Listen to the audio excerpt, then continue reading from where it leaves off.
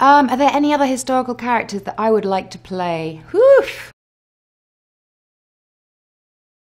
I would love to play um, like an animal from movies, like Crystal the monkey, but not, but from way back, um, and have it from the animal's point of view. And just because I just, I love the idea of just, I, I want to be able to play a man, I want to be able to play a person with light skin, I want to be able to play uh, an old person. I just think that the more we can mash ourselves together and just swap identities and recognize that we are all the same. I really love the fact that in film, we have an opportunity to influence the public and influence people to be more compassionate, more tolerant. So, whatever I could do in playing a figure from the past that isn't black or isn't a woman, just to sort of promote this idea that we are all one, we're all the same consciousness.